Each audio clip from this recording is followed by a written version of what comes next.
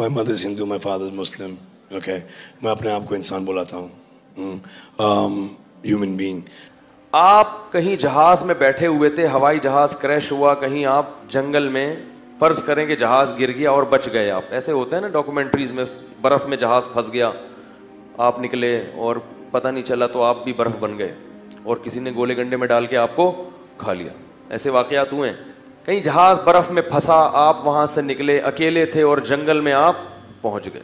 बयाबान में जहाँ ऐसी जंगल है जहाँ ना खाने का कोई ज़रिया और ना पीने का कोई ज़रिया। अब आप मौत के इंतज़ार में हैं कि यहाँ ना पानी है, ना देखो मेरे बयान का उसूल ये है कि जब बात अधूरी छोड़ूं तो आपने उस बात को मुकम्मल करना है, ताकि मुझे एहसास रहे कि जाग रहे हैं। थोड़ी बात जाग के सुनी जाए, ये बेहतर है कि सो के इंसान की बात सुनी जाए। तो आप जंगल में बहुत अहम बातें हैं, ये बातें अगर समझ में आ जाएँ, पूरी ज़िंदगी इंशाला तब्दील करने का ज़रिया बन जाएँगी। यही वो बातें हैं जो आज इंसान की समझ में नहीं आ रही। बड़े बड़े साइंसदानों की समझ में इतनी मोटी मोटी बातें नहीं आ रही। तभी आज का नौजवान अंग्रेज़ों को फॉलो कर रहा है, गोरों को फॉलो कर रहा है कि भाई वो हैं असल, वो बहुत बड़ी मिस्टेक कर रहे हैं। बहुत बड़ा जुर्म हो रहा है उनसे। उनको, उनकी इतबा करने की हमें इजाज़त नहीं है। जो फ़ैशन वहाँ से आ रहा है, उसको ले रहे हैं। जो नज़रिया वहाँ से आ रहा है, उसको ले रहे हैं। जो थ्योरी वहाँ से आ रही है, उसको ले रहे हैं।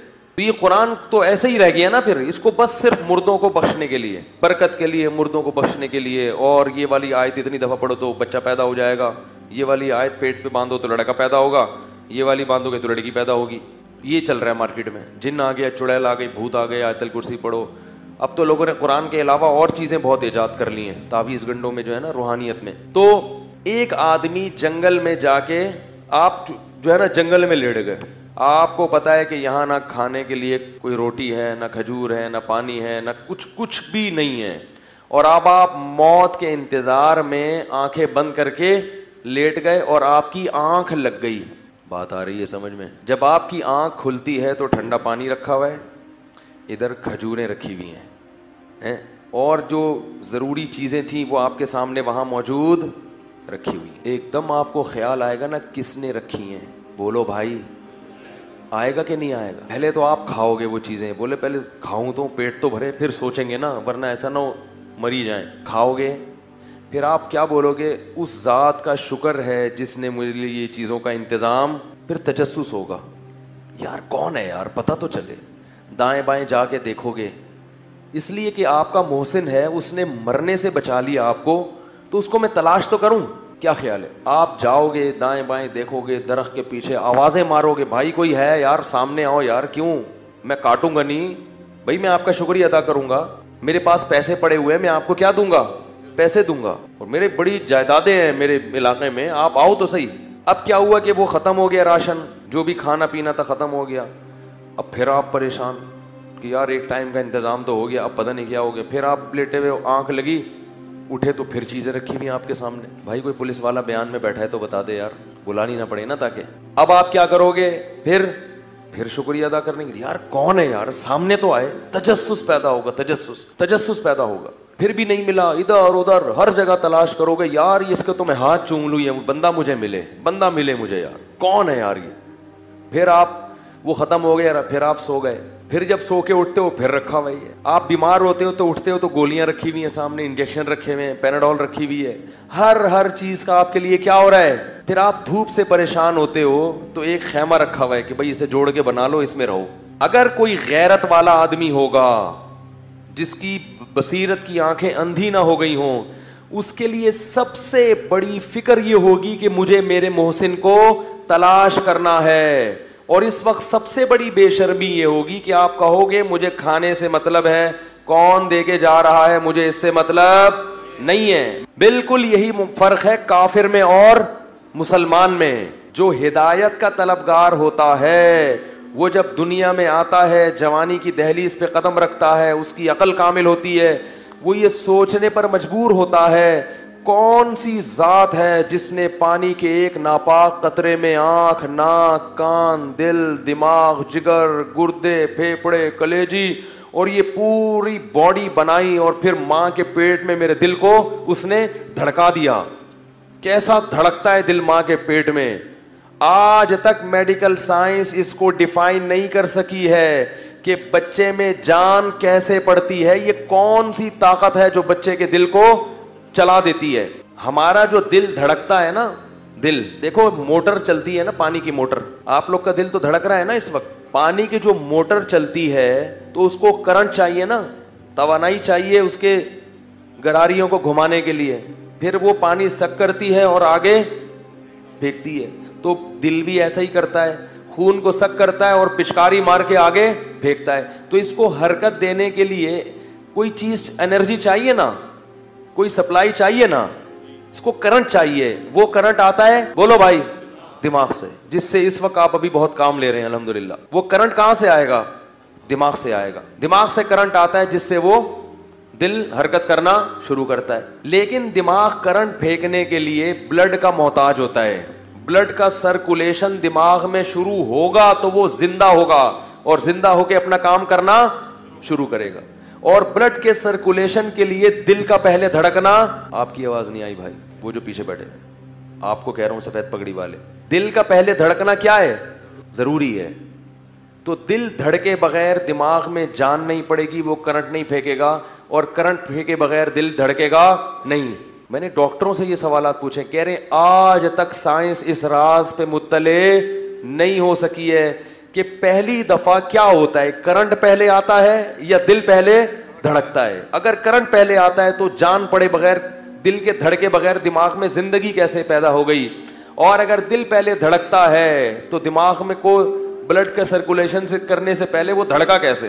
तो ये जवान होने के बाद हर इंसान क्या ये बातें सोचने पर मजबूर होता कि यार पानी के एक कतरे से माँ के पेट में फ़ी जुलुमात इन सलास कुरान कह रहा तीन अंधेरों में बनाया है।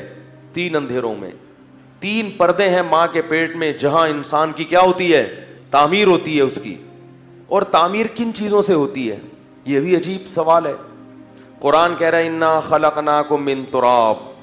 तुम जो, तुम्हारा जो भी मादा तैयार होता है ना, सबसे पहले मिट्टी है। मिट्टी से घास बनती है, मिट्टी से तनावर दरख्त पैदा होता है, मिट्टी से फल फ्रूट पैदा होते हैं, वालदेन वो चीज़ें खाते हैं, वो मिट्टी है। ज़मीन खोद के देखो तो ना उसमें खरबूजा है, ना तरबूज है। एक बीज होता है, उसी गोश और गोबर के मिलाप से उस बीज से अल्लाह खरबूजे, आम, पपीते और पता नहीं क्या क्या पैदा कर देते हैं। यही चीज़ जब वालदेन खाते हैं, यही मिट्टी तो अल्लाह ताला इस मिट्टी को खरबूजे से बना के औलाद के जरसूमों में तब्दील कर देते हैं। इसी मिट्टी से। गोश्त भी मिट्टी से बनता है, गाय, भैंस, ये खाती है ना? चारा, ये चारा कहाँ से आया? वही तमाम, जो खुराक आप खाओगे, वही इंसान के बॉडी का क्या बनेगी? हिस्सा। फिर माँ जब ये चीज़ें खाती है, रोटी खाएगी, उसी रोटी से बच्चे की आँख बनेगी। उसी रोटी से बच्चे की नाक बनेगी। उसी रोटी से बच्चे के खुदा की कसम, ये इतना अजीब नहीं है कि आप सोते हो, आपके करीब कोई खजूरें रख के चला जाता है ये उससे अजीब है कि मिट्टी और पानी के मिलाप से खजूर पैदा कौन कर रहा है हमारे लिए? ये ज़्यादा अजीब सवाल है। इस सवाल का जवाब ज़्यादा ज़रूरी है। तो उस मिट्टी से अल्लाह ताला क्या पैदा करते हैं बच्चे के लिए? रोटी, और रोटी जब माँ खाएगी तो क्या बनेगा? आँख, नाक, कान, जो कुछ खा रही है ना, पिज्जा खा रही है, उससे भी क्या बन रहा है? बर्गर खा रही है, उससे भी अगरचे बच्चा फिर बर्गर जैसा बनता है। हामिला औरत अगर पिज्जे, बर्गर ज़्यादा खाए तो बच्चे बर्गर फैमिली, कहते हैं ना, बर्गर फैमिली से इनका ताल्लुक है। इसका क्या मतलब इसको हाथ लगाओगे, जरासीम पैदा हो जाएँगे इस छींकोगे इसके सामने, मुँह करके मर जाएगा ये। ये होते हैं बर्गर खाने वालों की क्वालिटीज़ बर्गर की तरह फूले हुए होते हैं, दम नहीं होता। तो उसी से क्या बन रहा है? आँख, नाक, कान, दिल, दिमाग, जिगर, फिर जान पड़ रही है। फिर बच्चा जब दुनिया में आता है तो माँ जब वो रोटी खा रही है तो उससे अब दूध बनना शुरू हो गया। जब तक पैदा नहीं हुआ था, दूध नहीं बन रहा था। जैसे ही दुनिया में आया, पता नहीं अल्लाह के ख़जाने, अल्लाह की कुदरत के में क्या हरकत में आते हैं, फ़ौरन दूध पैदा होना। किस क्योंकि बच्चे को अभी किस चीज़ की ज़रूरत है? दूध की। अभी तो बच्चा है, बड़ा होगा तो सोचने पर मजबूर होगा ना कि मेरी माँ को रोटी खिला के उसकी छातियों में मेरे लिए दूध किसने पैदा किया था? खुदा की कसम, डॉक्टर बनना इतना ज़रूरी नहीं है। साइंसदान बनना इतना ज़रूरी नहीं है। पैसा कमाना इतना ज़रूरी नहीं है। इस सवाल का जवाब तलाश करना सबसे ज़्यादा ज़रूरी है। कौन है ये कर रहा है ये काम? फिर माँ की छातियों में दूध पैदा होता है। बच्चा कुछ भी नहीं जानता, लेकिन ये जानता है कि मुझे दूध कहाँ से मिलेगा। तो ये बुनियादी ज़रूरत थी हमारी पैदाइश के वक्त। जो किसी ऐसी जात ने पूरी की जिसको हम नहीं जानते, लेकिन पूरी हो रही है। फिर कान दिए, आँख दी, दिल दिया, दिमाग सोचने के लिए ये सारे हवास दिए ताकि हम आहिस्ता आहिस्ता सीखें। सीखने की सलाहियत किसने दी? कुल अराई तुम इन अखदल्लासमकुम व अबसारकुम। कुरान कहता है, बताओ अगर ये आँखों में बिनाई की सलाहियत अल्लाह ना दे और छीन ले सुनने की सलाहियत अल्लाह ना दे और छीन ले। दुनिया में कोई साइंसदान है जो ये सलाहियत लौटा दे तुम्हें। कोई एक इंसानी पार्ट ऐसा है जो इंसान ने ईजाद किया हो और बिल्कुल ऐसा हो जैसे अल्लाह ने बनाया है। कोई एक पार्ट भी ऐसा नहीं। ये जो ज्वाइंट है ना, जो हम उंगलियाँ हिलाते हैं मसनू हाथ आज तक ऐसा नहीं बन सकता वो ज्वाइंट की एडजस्टमेंट इस तरह हो हो ही नहीं पाती है। और अल्लाह ने ये रोटी से बनाया है। ये किससे बनाया?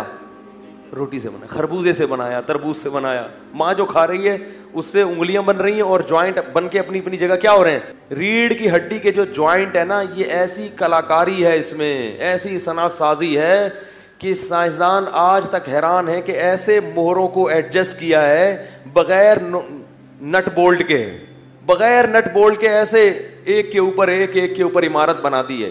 जरा सी सेटिंग आउट होती है तो आदमी का आधा धड़ आउट आधा सही चल रहा है, आधा क्या हो गया थोड़ा सा? एक रख दबती है ना मामूली सी। इतना पेचीदा निज़ाम है।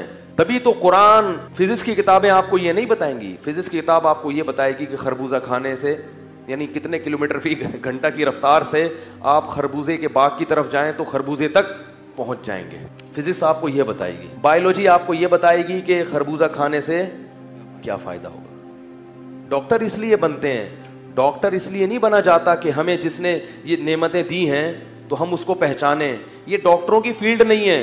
बात आ रही है समझ में, क्योंकि ये कुरान की फ़ील्ड है और मेडिकल साइंस में कुरान, बोलो ना भाई, नहीं पढ़ाया जाता।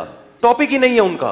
हकीम का ये टॉपिक नहीं है कि किसने बनाया। हकीम का ये टॉपिक है कि खरबूजा ठंडा होता है या गर्म होता है? दूध ठंडा होता है या गर्म होता है? दूध पीने से गैस पैदा होती है और गैस खत्म करने का तरीका काली मिर्च है। थोड़ा सा मेडिकल, वो भी आ जाए ना। दूध में, हकीम कहते हैं, दूध में काली मिर्च डाल के पकाओ तो फिर गैस पैदा नहीं होती। फिर सिर्फ़ बलूचिस्तान में गैस पैदा होगी, ठीक है, जहाँ होनी चाहिए। पेट में पैदा नहीं होती। तो ये हकीमों का टॉपिक ही नहीं है ना। तो जिसने पैदा किया ना, वो अपना इंट्रोडक्शन खुद करवा रहा है। छुपा दिया अपने आप को उसने। जैसे कोई शख्स जाके रख के जा रहा हो, लेकिन सामने ना आ रहा हो। आप तलाश कर रहे हैं तो जब हम जवानी की दहली इस पे कदम रखते हैं, अकल कामिल होती है तो अल्लाह कहते हैं, नेक लोग फिर तलाश करने की कोशिश करते हैं। कौन है जिसने मुझे पैदा किया? और पैदाइश के बाद मेरी जिस्मानी ज़रूरतों को भी पूरा किया और रूहानी ज़रूरतों को भी। उसने बाप भी दिया और माँ भी दी। माँ की शफकत बच्चे को बचपन में ना मिले।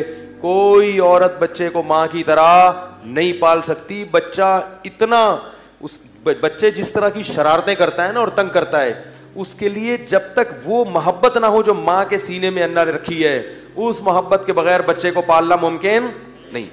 बच्चे सारे गैर मुकलद होते हैं। अरे भाई कोई एल बैठे हो, माजरत तो मिजाज चलता है यार मार्केट में, इतना तो बर्दाश्त किया करो। बच्चे सारे क्या होते हैं? गैर मुकलद क्या मतलब? दलील समझने की सलाहियत नहीं है, मगर हर बात पे दलील चाहिए। अब माँ बाप समझा, भाई, ये खा लो, क्यों? बच्चे ऐसे ऐसे सवाल पूछते हैं ना क्यों क्यों? उसका हल क्या एक थप्पड़ लगाओ। अगर बच्चों को दलाइल से समझाना शुरू कर दो तो क्यों क्यों क्यों के जवाब में खत्म हो जाएँगे सारे। तो किस कदर तंग करते हैं? लेकिन अल्लाह ने माँ बाप के दिल में ऐसी मोहब्बत रख दी, ऐसी मोहब्बत रख दी। चूँकि बच्चे को ऐसी मोहब्बत की ज़रूरत थी, लिहाजा अल्लाह ने माँ के सीने में ऐसी मोहब्बत डाल दी। बाप के दिल में अल्लाह ने औलाद के लिए ऐसी मोहब्बत डाल दी। फिर जब वो जवानी की दहलीज पे कदम रखता है, कुरान कहता है कि इस खुराक दूध के बाद फिर अनाज की ज़रूरत पेश आती है ना। अल्लाह ने क्या कहा कि क्या खिलाओ इसको? गंदम, दलिया, अनाज, ये चीज़ें खिलाओ। ये चीज़ें कहाँ से आएँगी? ज़मीन से। तो अल्लाह क्या करता है? खाद और मिट्टी के मिलाप से गंदम पैदा करता है। आसमान से पानी बरसाएगा। पानी बरसाने का अमल एक बड़ा अजीब है। बच्चा जब पहली दफ़ा होश में जब सलामत होते ना आसमान से पानी बरसता हुआ देखता है। तो वो पहली दफ़ा सोचता है कि ये क्या हो रहा है? ये क्यों बरस रहा है? उसे नहीं पता कि ये तेरी ज़िंदगी का अल्लाह की तरफ़ से इंतज़ाम हो रहा है। ये पानी अगर आसमान से ना बरसे, तू भी मर जाएगा और इस ज़मीन पे बसने वाली सारी मखलूक हलाक हो जाएगी। वफिस समा रिस्कुम अल्लाह फरमाते हैं, इसी आसमान के पारी में तुम्हारी रोजी रखी हुई अल्लाह ने। ये बंद हो जाए तो फैक्ट्रियाँ बंद। चाइना जितनी मर्ज़ी तरक्की कर ले बारिश बंद हो गई ना, चाइना की आसमान पे जाती हुई तरक्की धड़ाम से ज़मीन में दफन हो जाएगी। सारी फैक्ट्रियों के पहिए घूम रहे हैं। किससे? बारिश के पानी से। सब कुछ इसी से हो रहा है। क्योंकि ये जो कुदरत की तरह तरह की कलाकारियाँ हैं ना सना साजियाँ ये बारिश के पानी से हो रही हैं। बारिश का पानी बरसता है तो ज़मीन से चीज़ें पैदा होती हैं। ट्यूबवेल का पानी जो है ना, वो भी तो बारिश से ही आता है ना ज़मीन में। दरियाओं में पानी कहाँ से आता है? बारिश से आता है। चश्मों में पानी कहाँ से आता है? बारिश से आता है। हर जगह पानी कहाँ से सैराब हो रहा है? बारिश से आ रहा है। कैसा निज़ाम बनाया अल्लाह ने? और ज़मीन में तीन हिस्से पानी है, एक हिस्से खुशकी।